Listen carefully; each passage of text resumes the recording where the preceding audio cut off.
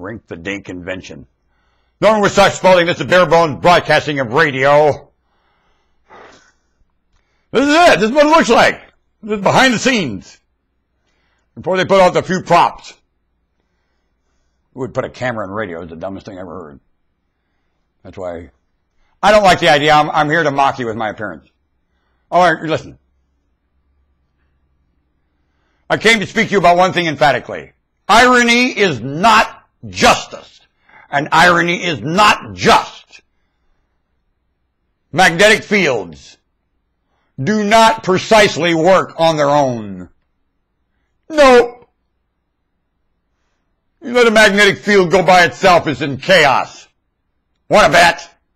You say, well, it, no, it don't keep order. It's a junk. Garbage. All, alternating current has so many sides.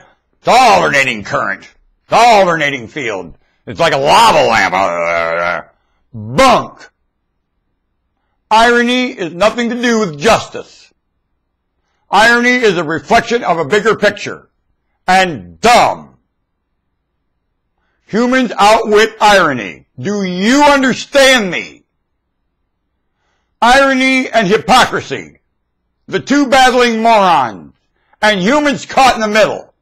Want to bet your reasoning process is more. Back up, remember more than hypocrisy. Back up, remember more than irony. And mammal. Do it! Reason. Accurate. Inclusive. Stay honest.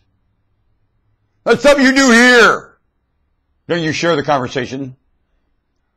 I'll tell you what'll happen. You get honest, you know the people who are honest right here, you know what they do? They hide because they can't find any place to share the conversation. Mm-hmm. They're afraid. They find the wit of those around them not near it, and they hide. That's what you have a poll for. That's why you vote with none of the above. Do you understand me? You shall get heard. You shall not hide. Get out of the closet. Get a poll that says none of the above. Start with president and mayor. Nobody can do it. They're all wah, president and mayor. President and mayor. President and mayor. You have to have none of the above. You're not getting a condensation. They're under threat. Very dangerous place, president and mayor. You've got to rescue these people. Move! You've got to rescue the children coming. Move! None of the above. You will not stay quiet, wit. Human wit shall not hide under the stairway. No! Irony is not just. No, it isn't, and it won't come and rescue us in the name of justice. No, it! I'm irony! Move! Give me some hands. Give me some hands! Give me some brains! I'm irony! I require that! Don't use barometrics to talk about me! Don't use earthquakes to talk about me! Your brains are more than that! Use them! And they're worthless. The human brain's junk crap. Only it's better than irony and, and hypocrisy. A lot better! Humans met wits with this brain, you're an immunity. As garbage as it is, it'll provide immunity here. Want a bet? Your greatest stupidity provides immunity when you confess it. Move! I mean, confess it. That you are not the problem. Nope. Violence is not the problem. Lazy consistency is the problem. Lazy consistency is the problem. Go like this. Wrong. Go like this. Wrong. Now you're not consistent anymore.